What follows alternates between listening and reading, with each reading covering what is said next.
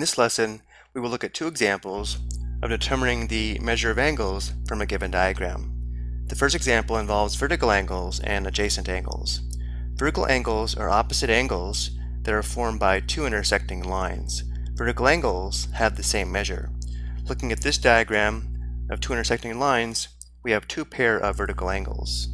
Angle B and angle D are vertical angles and have the same measure. Angle A and angle C are vertical angles and have the same measure. Adjacent angles are two angles that share a common side.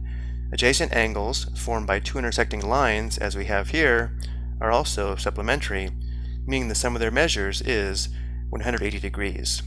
And we have several pair of adjacent angles that are also supplementary. Notice angle A and angle B share a common side this side here. These angles are adjacent angles and are also supplementary. Angle B and angle C are adjacent angles and are also supplementary. Angle C and angle D are adjacent and supplementary, as well as angle A and angle D. Going back to the question, notice angle X and angle Z are vertical angles, as well as angle Y and the given angle that measures 76 degrees. And because vertical angles are equal in measure, the measure of angle Y must be 76 degrees. Next, notice that angle x and the given angle that measures 76 degrees are adjacent angles and are also supplementary, which means the measure of angle x plus 76 degrees must equal 180 degrees, and therefore the measure of angle x must equal 180 degrees minus 76 degrees, which equals 104 degrees. Finally, notice angle x and angle z are vertical angles and therefore have the same measure. The measure of angle z must be 104 degrees. Let's look at the second example. Looking at the diagram, notice how we do have a right angle here. Angle KVM is a right angle and measures 90 degrees. We're also given the measure of angle LVN is 74 degrees, and the measure of angle KVL is 39 degrees. We're asked to determine the measure of these three angles. Notice angle KVN is the large angle, and therefore the measure of angle KVN must equal the measure of angle KVL plus the measure of angle LVN. And we have the measure of these two angles, let's first find the measure of angle KVN. The measure of angle KVN must equal 39 degrees plus 74 degrees. which is equal to 113 degrees.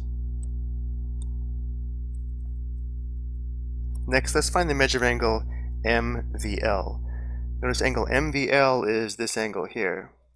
If we focus on the right angle, angle KVM, notice how this tells us that angle MVL and angle LVK are complementary, which means the sum of the measures of the angles must equal 90 degrees and therefore the measure of angle MVL must equal 90 degrees minus 39 degrees.